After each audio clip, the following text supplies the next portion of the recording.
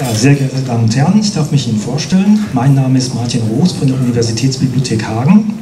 Wir sind an dem E-Journal E-Learning and Education beteiligt und wir wollen das Medium E-Journal ausbauen und erweitern.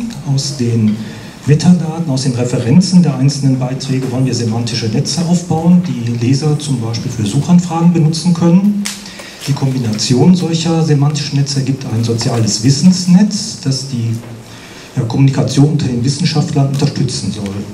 Und wir möchten unter dem Namen Posuko portable Suchkontexte, Wissenschaftler, Bibliotheken, Verlage einladen, bei diesem Projekt mitzumachen. Vielen Dank.